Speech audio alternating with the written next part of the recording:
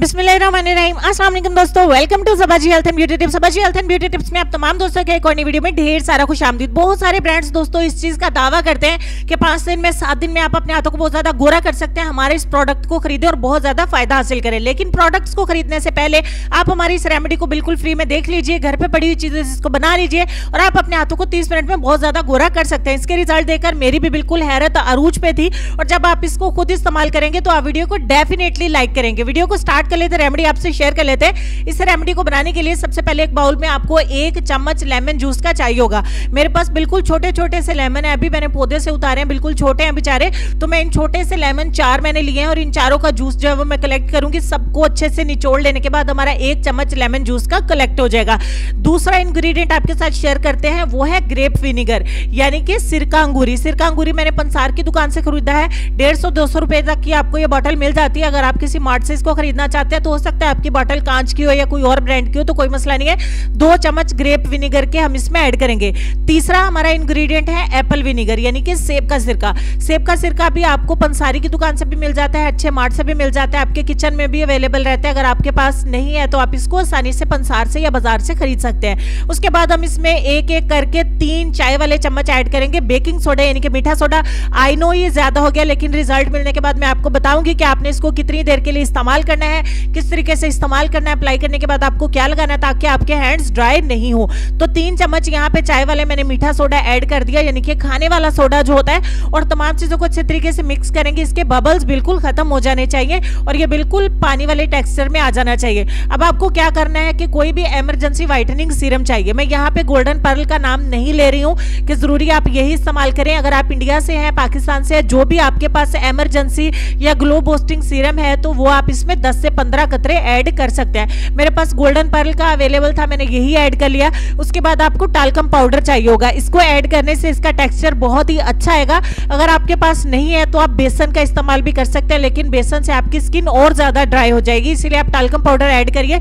इससे इसका टेक्सचर बहुत ही अच्छा आएगा क्रीमी कंसिस्टेंसी में आ जाएगा। इसको अप्लाई करना आसान हो जाएगा। अगर आप सिर्फ़ मीठा सोडा इसमें ऐड करेंगे तो मीठा सोडा नीचे बैठ जाएगा और दानेदार हो जाएगा और अप्लाई करना इसको मुश्किल हो जाएगा। अच्छे तरीके से तमाम चीज़ें मिक्स होकर एक फेस मास्क की शक्ल में आ जाएँगी। अब आप इसे अपने हाथों पे अप्लाई कर लें। अप्लाई किस तरीके से करना है और मेरे हैंड का रिज़ल्ट पहले आप देख लीजिए। बाद में आप मत कहिएगा कि आपका हैंड पहले ही फेयर था। प्लीज़ आप अभी रिज़ल्ट को देख लीजिए, ताकि बाद में जब मैं आपको रिज़ल्ट शेयर करूँ, क्योंकि तीस मिनट में मैं भी बहुत ज़्यादा हैरान रह गई थी। अच्छे तरीके से अप्लाई करेंगे और अप्लाई करने के बाद हमने क्या करना है? हमें प्लास्टिक का ग्लव चाहिए होगा। यानी कि शापर वाले जो ग्लव्स होते हैं, बालों को कलर करने के साथ जो मिलते हैं, आपको डिब्बी के अंदर वही वाले ग्लव्स चाहिए होंगे।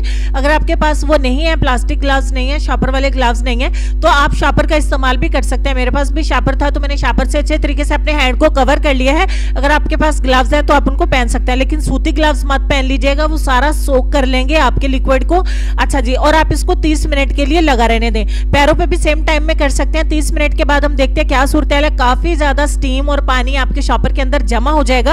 अब आपने क्या करना है कि शापर को रिमूव करना है। और रिमूव करके जैसे आप देखेंगे कि आपके हाथों के ऊपर जो सर्दी की वजह से छोटी छोटी लाइनें बनी हुई थी, लाइनों के अंदर काफ़ी ज़्यादा मैल कुचैल फंसी हुई थी। वो सारी नरम होके, सॉफ्ट होके, उगल कर स्किन के ऊपर आ जाएगी और ये झाक झाक की शक्ल में बन जाएगा। और यहाँ पे डिफरेंस आपको नज़र आ रहा है। आप बहुत विजिबल डिफरेंस देख सकते हैं। लेकिन मैं आपको वॉश करके भी दिखाऊँगी। मैंने हैंड को वॉश कर लिया और हैंड को अच्छे तरीके से ड्राई कर लिया ड्राई करने के बाद मैं आपको रिज़ल्ट दिखा देती हूँ। मैंने अपने बाजू पे अप्लाई नहीं किया था। जहाँ तक मैंने अप्लाई किया था, वहाँ तक बहुत ही खुल के, बहुत ही ज़बरदस्त वाला रिज़ल्ट हमें मिला है। जितना सा मेरा हैंड फेयर था, उतना अगर आपका हैंड फेयर है और उसको इतना फेयर आप करना चाहते हैं, उतने से इतना करना चाहते हैं तो 30 मिनट का ये फार्मूला ये रेमेडी ज़रूर इस्तेमाल करें। आपको महँगे महँगे प्रोडक्ट्स को खरीदने की ज़रूरत नहीं पड़ेगी। आपको लंबे चौड़े मैनिक्योर पेडिक्योर करने की ज़रूरत नहीं पड़ेगी। आपको डेली रात में नाइट क्रीम्स अप्लाई करने की ज़रूरत नहीं है फार्मूला क्रीम्स बनाने की ज़रूरत नहीं है। तीस मिनट का ये मैनिक्योर आप कर लीजिए। आप हफ़्ते में इसको एक बार ट्राई कर सकते हैं। ट्राई करने के बाद आप अपने हाथों के ऊपर एलोवेरा जेल या फिर अच्छे वाला सूथिंग लोशन या फिर आप कोई भी अच्छा मॉइस्चराइजर अपने हाथों पे अप्लाई ज़रूर करिएगा, क्योंकि मीठा सोडा होने की वजह से आपकी स्किन ड्राई हो सकती है। ठीक हो गया जी, और अच्छे तरीके से अगर आपके पास कोई चीज़ नहीं मॉइस्चराइजर नहीं है तो आप एलोवेरा जेल फ्रेश वाली या मार्केट वाली अप्लाई कर सकते हैं। अगर आपके हाथ ज़्यादा काले हैं तो आप इसे हफ़्ते में दो से तीन बार भी ट्राई कर सकते हैं, सिर्फ़ आधे आधे घंटे के लिए। तो लेसन की तरफ़ चलते लेसन में आपको ये कहना चाहेंगे कि जब तक इंसान दूसरे की जगह पे खड़ा ना हो, तब तक इसे पूरी बात समझ नहीं आती। इस बात पर गौर करिए, अपना ढेर सारा ख्याल रखिए। इंशाल्लाह मैं आपसे मिलूँगी नेक्स्ट वीडियो में। तब तक के लिए खुश रहिए, आबाद रहिए, हँसते मुस्कुराते रहिए और देखते रहिए Sabaji health and beauty tips Allah Hafiz.